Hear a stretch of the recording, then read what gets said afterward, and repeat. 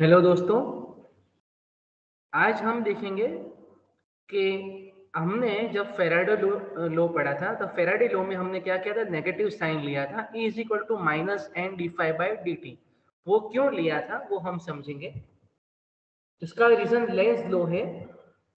ये actually it shows the property of magnetic circuit to maintain on working condition आपकी circuit की basic condition में magnetic circuit की basic condition है। उसको ये मेंटेन करता है। ये मेंटेन करने की जो प्रॉपर्टी है वो रिस्पॉन्सिबल है लेंस लो के पीछे। तो ये स्टेटमेंट क्या देता है?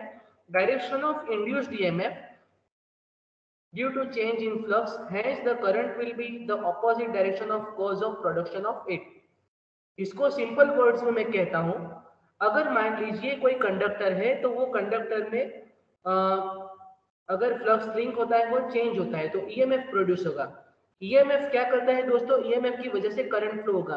तो वो करंट ऐसी डायरेक्शन में फ्लो होगा कि वो बेसिकली जो चेंज हुआ है फ्लक्स उसकी इफ़ेक्ट को नलीफाई कर पाए। हमने ये डायग्राम देखा था। अगर मान लीजिए आपका जो करंट फ्लो हो रहा है आ, जो कंडक्टर में तो ये इस डायरेक्शन में हो रहा है और ईएमएफ आपका इंड्यूस होगा।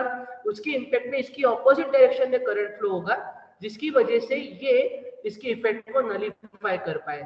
इसका मतलब फ्लक्स चेंज की वजह से जो ईएमएफ इंड्यूस होता है वो ईएमएफ इंड्यूस अल्टीमेटली उसके जो प्रोडक्शन का कोज है उसका अपोज करता है।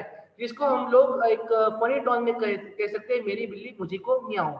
इसका मतलब अगर ईएमएफ क्यों प्रोड्यूस हुआ फ्लक्स चेंज होने की वजह से तो इस ईएमएफ की वजह से करंट ऐसी डायरेक्शन में फ्लो होगा कि उसके कोज का उसके रीजन का अपोज हो उसी डायरेक्शन में करंट फ्लो करेगा। तो ये दोस्तों लेंस लो है। मान लीजिए एक डायरेक्शन में हमको पता है हम इस मैग्नेट को एक डायरेक्शन में ले जाएँगे। तो मान लीजिए ये लोअर वर्ड लोअर डायरेक्शन में करंट फ्लो हो रहा है आ, तो ईएमएफ की वजह से दूसरी डायरेक्शन में उसका आ, जो करंट फ्लो होगा वो रिवर्स होगा। तो वो कैसा हो जाएगा? उससे रिवर्स हो जाएगा। तो ये इसका बेसिक फंडा है दोस्तों।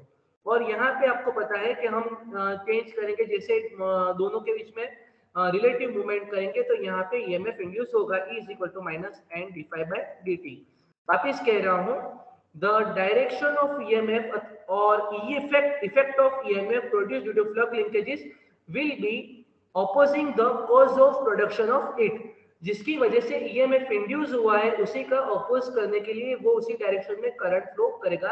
या अल्टीमेटली ऐसे इफ़ेक्ट देगा कि उसके जो मेन पोजीशन है वो मेंटेन रहे। ओरिजिनल पोजीशन को मेंटेन करने का एक उसका रीजन है।